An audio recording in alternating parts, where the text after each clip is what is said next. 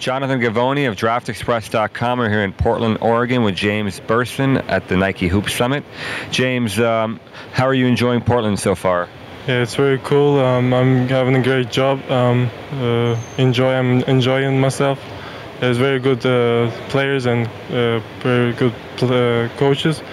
I'm trying to learn as much as possible of these great coaches. I mean, I'm having a good time. How Turkish of a name is James? Can you tell me the background of, of your of your name? Uh, my uh, mother is Irish, so uh, my grandfather was uh, he was uh, James. My, his name was James, so my name is James.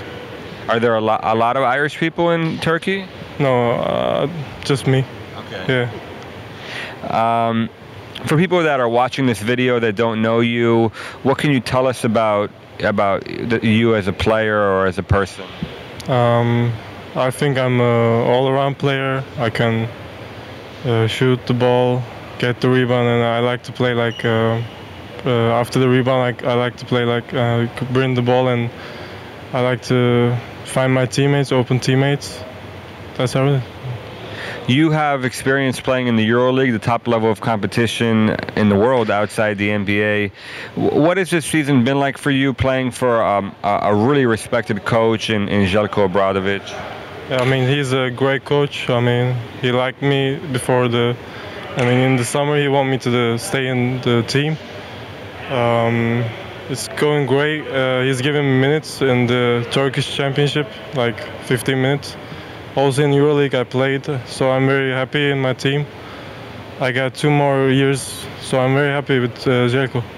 He's a great coach in the Europe, so I'm very happy, um, lucky.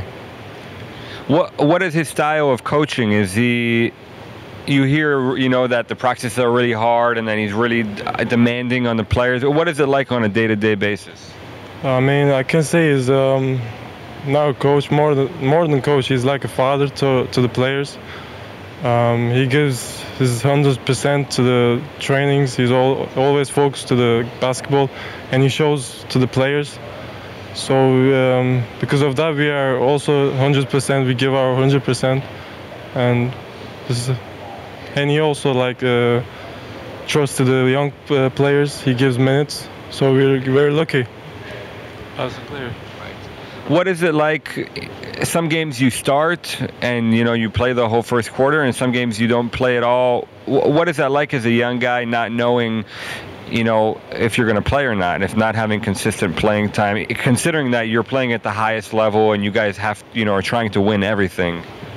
Yeah, I mean it doesn't matter. I be playing in the uh, highest level. It doesn't matter the when we play. We just need to give us 100%. You know. What are you trying to um, work on? What do you What do you need to improve on to, to reach your full potential? Um, I'm working on my uh, side. I mean, my athleticism. I got um, I gotta work on my legs um, in the weight room. Um, I gotta uh, work on my to create on my own shot. I gotta work on these, but I think I will get better. Um, what do you guys need to do to win the game on Saturday? Um, we know the uh, USA uh, team is very athletic and very fast. Um, we gotta defend them in in the low post and inside. We don't. We, I mean, we gotta stop them on the fast break. Um, and we, I think we will win. We, we got a chance to win this game as far as um, your future, what what do you you know what are your the goals for your career? I mean, from since childhood, my uh, ultimate goal was always to go to NBA. I was dreaming to be in the NBA. Um, so my dream is to be in NBA. But I, am happy now in my in the Turkey in my club. I mean, Obradovic. Um, I I got I want to learn as much as possible of of Obradovic. So one day I want to be in the NBA. Right. Thank you so much. Good luck.